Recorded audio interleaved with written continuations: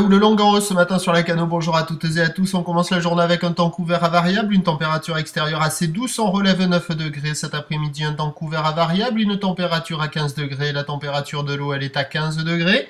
La marée, elle est en train de finir de descendre. Le plein bas est à 8h50 avec des coefficients de 62. Et euh, sur cette fin du descendant, bah, le vent est onshore faible avec un secteur ouest-sud-ouest. Il y a un beau fort. Le plan d'eau est ridé. Et on a cette houle qui est rentrée dans la nuit, une houle qui est longue avec 10 secondes de période, orientée ouest. Elle n'est pas jolie du tout. Et elle nous donne un déferlement qui est régulier à la hauteur de 2 mètres. Et sur les séries, comme l'on voit actuellement, même si on n'y voit pas très très bien avec ce temps qui est un peu couvert, il y a 2 mètres 50.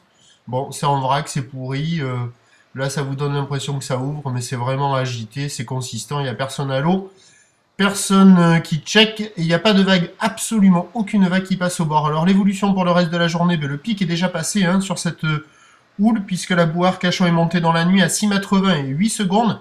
Elle est déjà à la baisse ce matin, à 4 m 49 secondes. Évolution pour le reste de la journée, un train de houle en légère baisse à la mi-journée, un peu plus à la baisse ce soir, et puis du vent qui devrait revenir offshore, à side offshore dans le courant de la journée. On attend à 13h 2 mètres à 2 mètres 50, tout l'ouest, 10 secondes de période avec le vent qui revient donc sud-sud-est à de Beaufort et à 17h 2 mètres 30 ou l'ouest, 10 secondes de période, vent de sud-est à sud-sud-est dans les deux Beaufort. Deuxième partie de journée un poil plus favorable mais pas sur la canon, il faudra se déplacer. On vous souhaite une bonne journée, on se retrouve à 11h30, à tout à l'heure, merci.